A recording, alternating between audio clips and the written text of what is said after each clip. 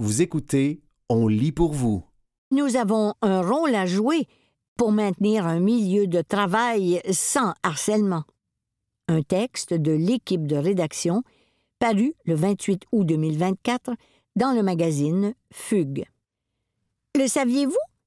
La notion de harcèlement psychologique au travail englobe le harcèlement sexuel et le harcèlement à caractère discriminatoire, c'est-à-dire fondé sur un des motifs de discrimination prévus par la Charte des droits et libertés de la personne, la race, la couleur de la peau ou l'origine ethnique, l'âge, la langue, le sexe, la grossesse ou l'état civil, l'identité ou l'expression de genre ou l'orientation sexuelle, la religion, la condition sociale ou les convictions politiques, le handicap ou le moyen utilisé pour diminuer l'impact d'un handicap.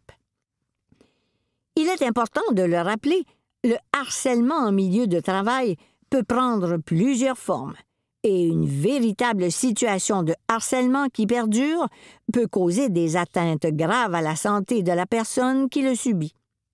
Il faut donc agir avant d'en arriver là. Explication. Dans l'espace public, les sujets du harcèlement, de la santé psychologique et de la violence en milieu de travail ou ailleurs sont devenus une préoccupation importante. Le mouvement MeToo, ainsi que les nombreux cas fortement médiatisés des dernières années, ont accéléré cette tendance. Cette préoccupation a mené aux modifications apportées à la loi sur les normes du travail en 2018, qui sont notamment venues préciser certains aspects de la définition légale et de la responsabilité des employeurs et l'obligation pour chaque employeur de mettre en place une politique de prévention et de prise en charge des situations de harcèlement.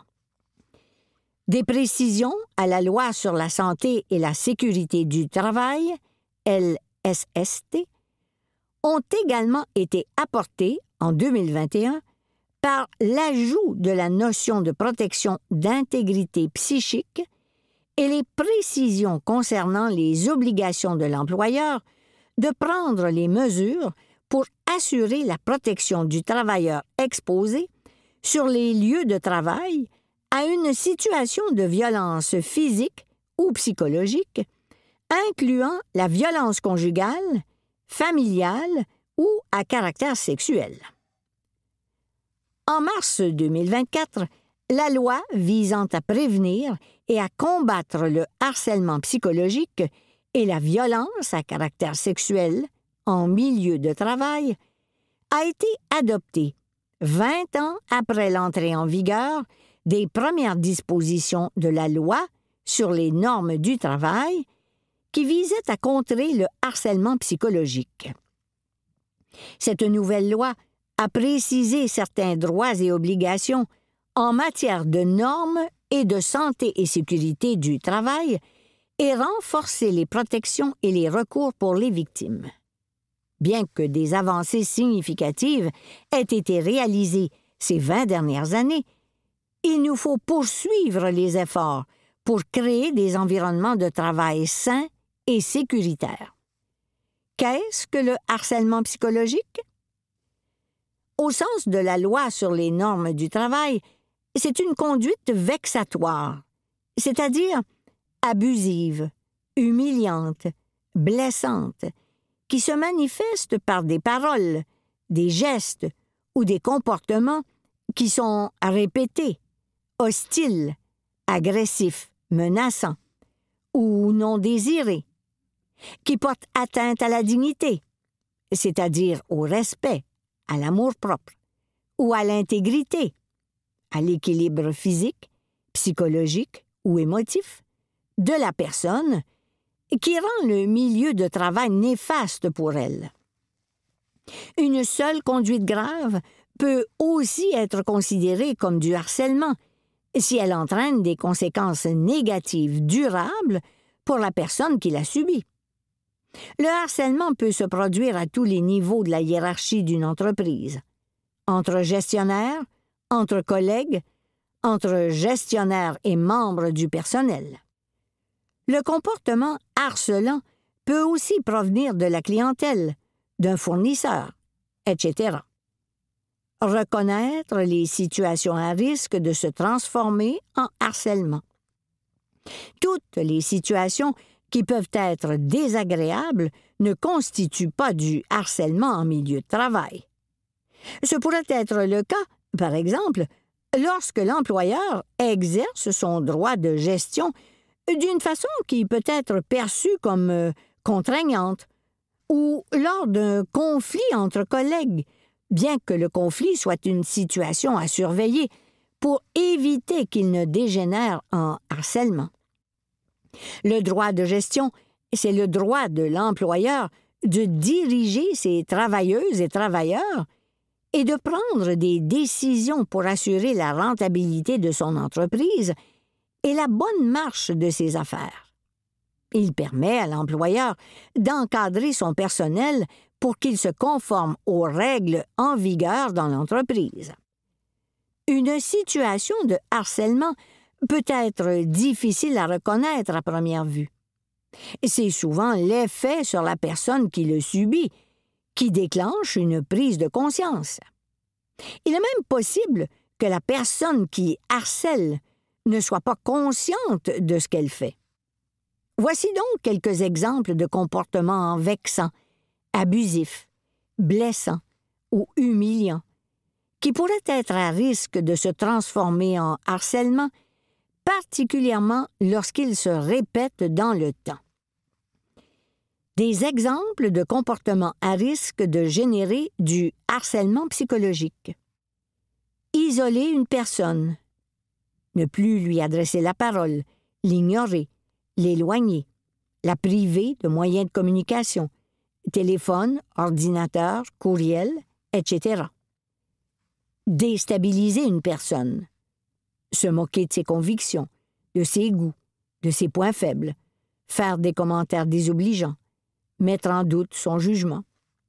Déconsidérer une personne, répandre des rumeurs à son égard, la ridiculiser, l'humilier, l'injurier. Discréditer une personne, ne plus lui donner de tâches à accomplir, lui attribuer des tâches inférieures à ses compétences ou qu'elle n'a pas la capacité de faire, la mettre en échec, simuler des fautes professionnelles, la dénigrer devant les autres. Menacer, agresser la personne, hurler, la bousculer, endommager ses biens. Des exemples de comportements à risque de générer du harcèlement sexuel. Toute conduite à caractère sexuel non désiré comme des regards, sifflements, courriels ou textos à connotation sexuelle et affichage de matériel pornographique. Des blagues sexistes, remarques déplacées sur le physique, questions sur la vie privée, menaces, propositions, sollicitations de faveurs sexuelles. Des frôlements, attouchements ou gestes à caractère sexuel, l'exposition à des scènes sexuelles, pornographie, exhibitionnisme, ou à des photos de nature sexuelle, prises ou envoyées par courriel ou non. Des blagues, commentaires ou questions à connotation sexuelle, transmis par courriel ou non, sur l'identité sexuelle ou de genre, sur l'orientation sexuelle et sur les organes génitaux, par exemple. La circulation de rumeurs sur la sexualité d'une personne, des invitations répétées à des contacts sexuels. Quoi faire si vous subissez du harcèlement ou si vous êtes témoin d'une situation? Quel que soit votre niveau dans la hiérarchie, vous pouvez agir si vous subissez ou si vous êtes témoin au travail de comportements, de gestes ou de paroles évoquant une situation de harcèlement psychologique ou sexuel.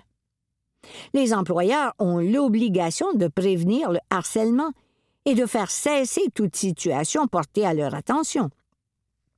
À cet effet, ils ont l'obligation de mettre en place une politique de prévention et de prise en charge des situations de harcèlement. Prenez-en connaissance pour en savoir plus sur les orientations de votre employeur et sur les moyens mis en place pour prévenir et traiter les situations de harcèlement. Les travailleuses et les travailleurs ont aussi des obligations. Ils doivent notamment participer à l'identification et à l'élimination des risques d'accidents du travail et de maladies professionnelles sur le lieu de travail et prendre les mesures nécessaires pour protéger leur santé et assurer leur sécurité ou leur intégrité physique ou psychique. À titre d'exemple, vous pouvez participer à l'identification du risque en parlant de la situation à votre employeur, à votre représentant représentante en santé et sécurité, ou à votre agent ou agente de liaison en santé et sécurité, et aux membres de votre comité en santé et sécurité. En tout temps, vous pouvez communiquer avec la CNESST pour déposer une plainte si vous croyez subir du harcèlement. Les personnes syndiquées doivent s'adresser à leur syndicat ou pour signaler une situation dangereuse de façon confidentielle ou anonyme à une inspectrice ou un inspecteur en santé et sécurité du travail. Si vous voulez dénoncer une situation de harcèlement dont vous avez été témoin, si vous êtes dans l'impossibilité d'en discuter avec l'employeur, ou si vous avez dénoncé une situation de harcèlement à l'employeur, mais il n'est pas intervenu pour régler le problème. L'inspecteur en santé et sécurité du travail peut intervenir auprès du milieu de travail afin de vérifier si l'employeur a mis en place les mesures nécessaires pour protéger la santé et assurer la sécurité et l'intégrité physique et psychique, dont celle pour réduire et contrôler les risques psychosociaux, incluant la violence et le harcèlement en milieu de travail. Il s'assure que la loi sur la santé et la sécurité du travail et ses règlements sont bien appliqués. Un travailleur peut déposer une plainte pour signaler une situation dangereuse ou s'il juge que son employeur ne prend pas les mesures nécessaires pour protéger la santé et assurer la sécurité et l'intégrité physique et psychique de ses travailleurs. Cette plainte est aussi possible si vous pensez avoir été congédié, suspendu ou avoir subi une mesure discriminatoire ou des représailles parce que vous avez exercé une fonction ou un droit reconnu par la loi. Pour plus de détails, consultez le site web de la CNESST. CNESST.gouv.qc. C'était nous avons un rôle à jouer pour maintenir un milieu de travail sans harcèlement. Un texte de l'équipe de rédaction paru le 28 août 2024 dans le magazine Fugue.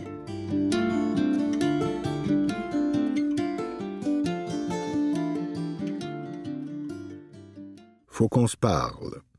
Un texte de Maxime Penneau-Jobin paru le 28 août 2024 dans la presse. Chaque fois, c'est pareil. Le gouvernement du Québec fait une annonce en immigration et le débat reprend de plus belle sur tous les aspects de cet enjeu crucial, comme si on n'en avait jamais parlé. Chaque fois, tous les acteurs répètent leurs préoccupations habituelles, les clivages s'accentuent et on a l'impression qu'il nous est de moins en moins possible d'avancer tout le monde ensemble dans un dossier qui pourtant exigerait qu'on le fasse. Chaque fois, comme un paratonnerre, le gouvernement du Québec canalise vers lui toutes les critiques possibles et imaginables, ce qui permet trop souvent au gouvernement fédéral de survoler les débats, nous faisant oublier qu'il est la plus grande source des difficultés actuelles au pays.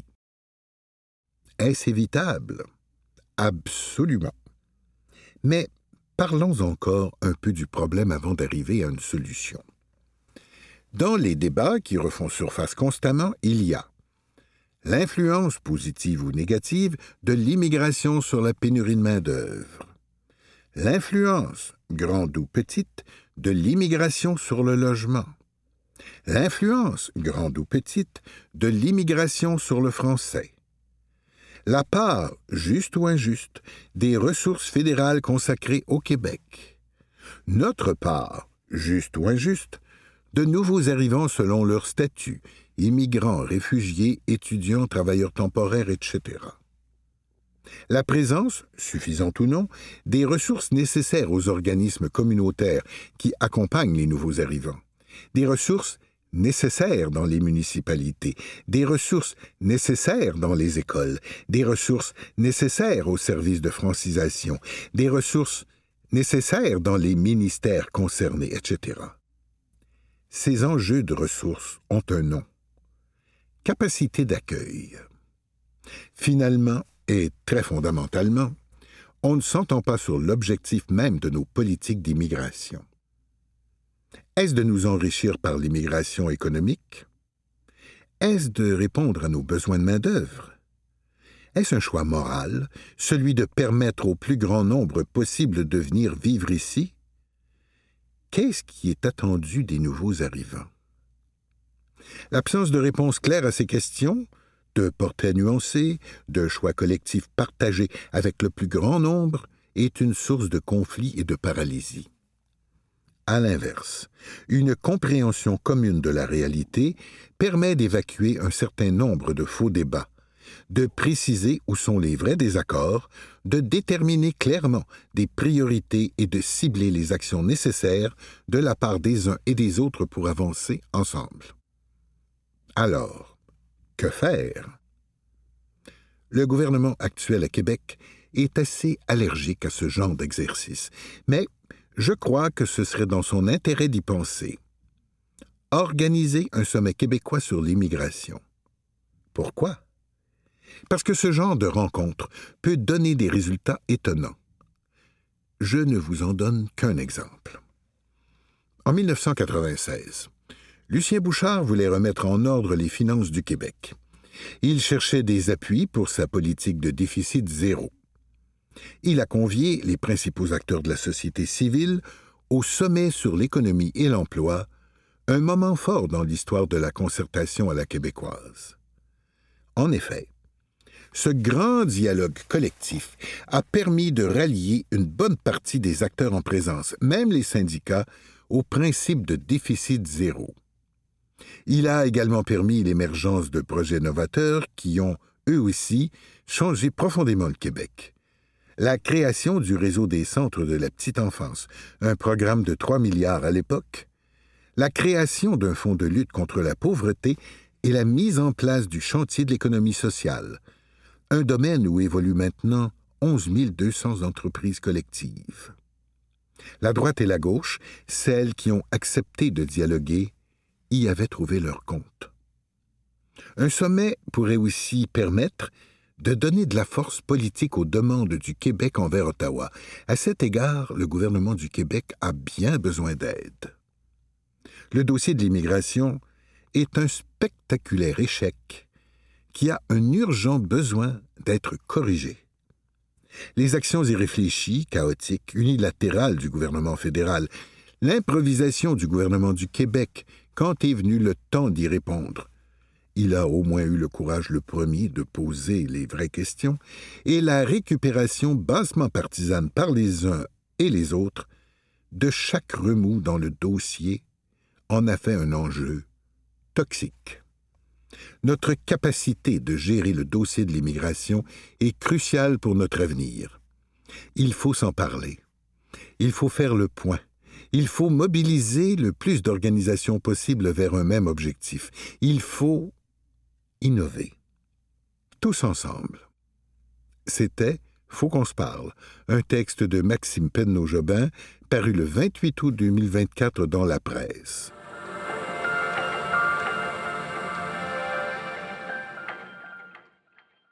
La caverne d'Ali Baba de Saint-Jérôme, un texte de Sarah Champagne, paru le 26 août 2024 dans la presse.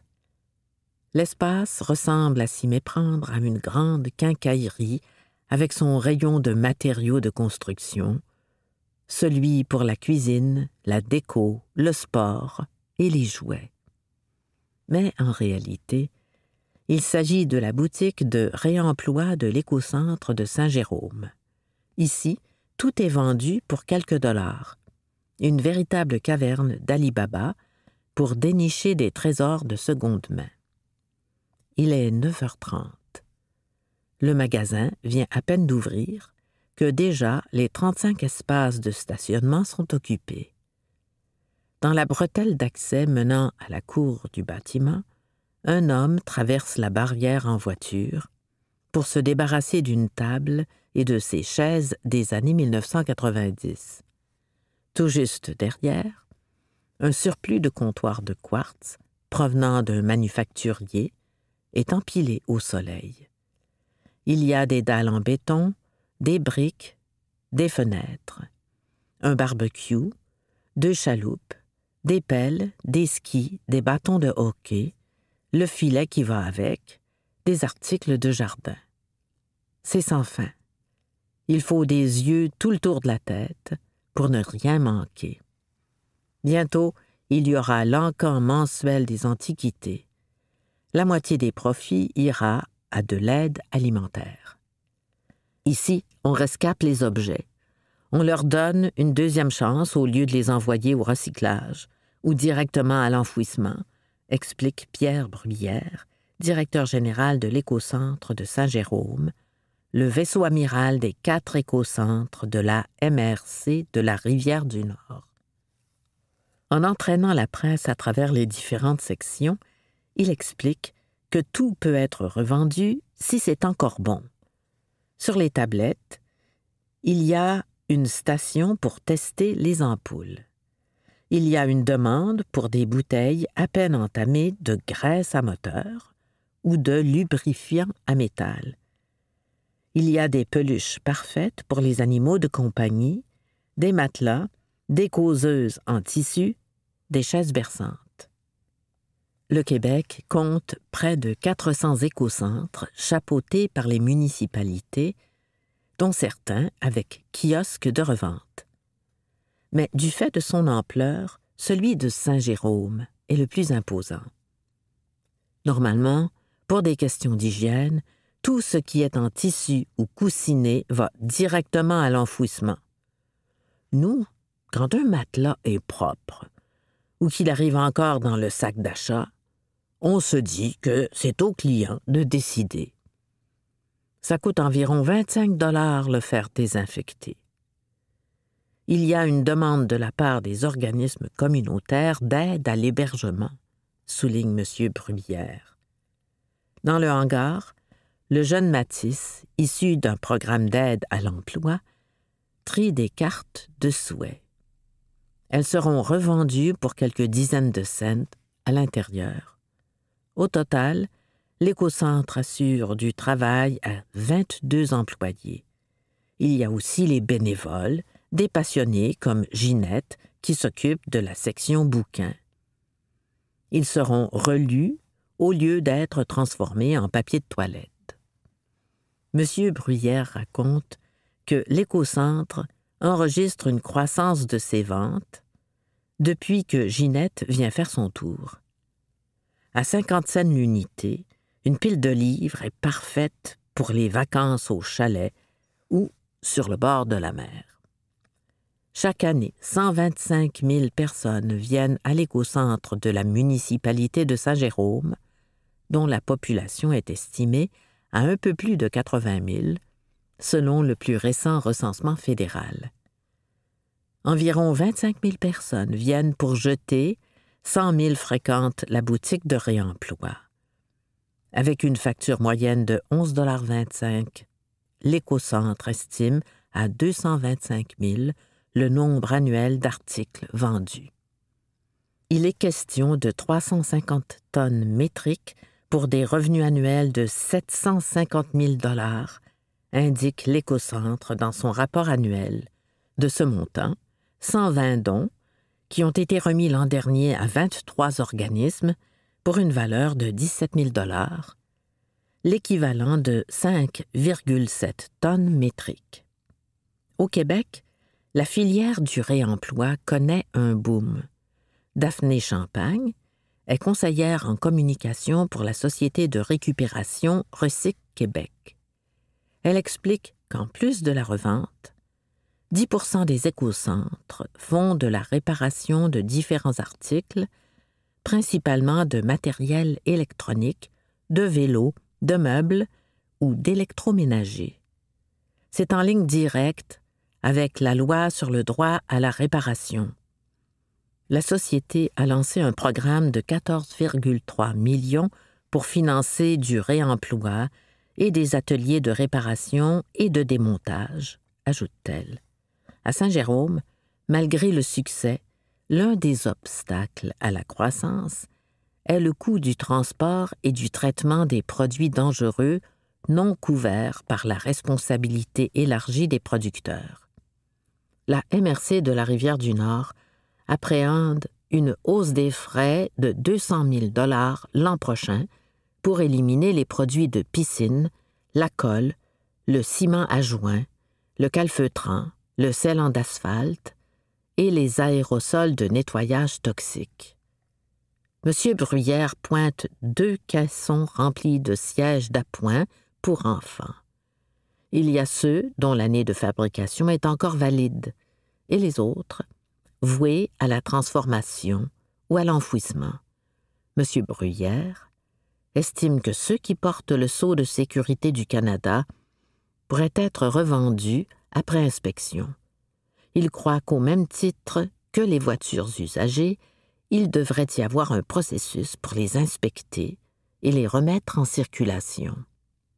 C'était la caverne d'Ali Baba de Saint-Jérôme, un texte de Sarah Champagne, paru le 26 août 2024 dans la presse.